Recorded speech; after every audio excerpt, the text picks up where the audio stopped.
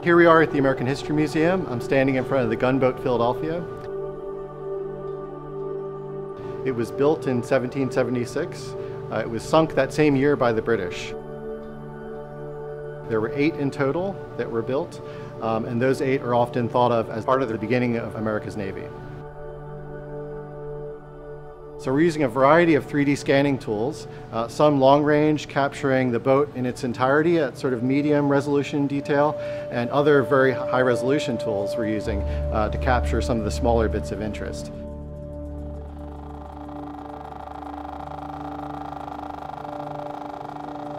The laser arm scanner has some very accurate encoders in each joint.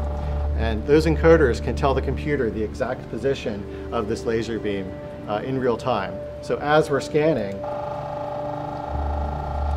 we could see that, that bit of data popping up on screen.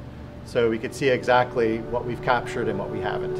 Uh, so for objects that are geometrically complex or wherever there's really close quarters, uh, this is the ideal tool. And this data is going to be used to support research at the Smithsonian, and it's also going to be used as a public access tool.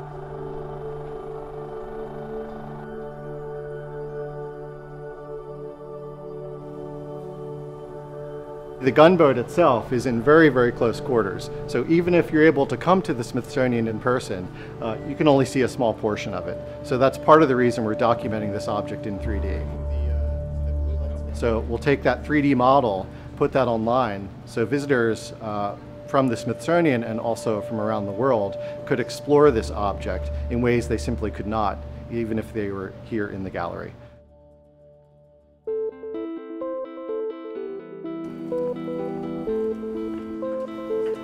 We're here at Cornell University, and their team is allowing us access to a high-resolution micro-CT scanner.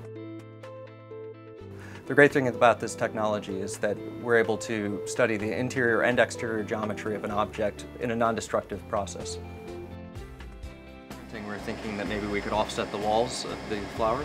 Yes, if we zoom in. So this is an exciting example of coevolution between a Coryanthes orchid and euglossine bees. The male euglossine bee falls into the bucket at which point its wings become wet and it won't be able to fly out the same way it came in. It's forced to travel out a small hole in the back where pollen is exchanged onto the male euglossine bee. The male euglossine bee now carries the scent of the orchid, which attracts female euglossine bees for reproduction. So once we have the CT data of the orchid, we'll be able to understand more thoroughly how the orchid and euglossine bee interact. Whether it's a rare orchid, a historic gunboat, or an archaeological site, we see a huge potential to discover and diffuse knowledge through a variety of 3D scanning methods.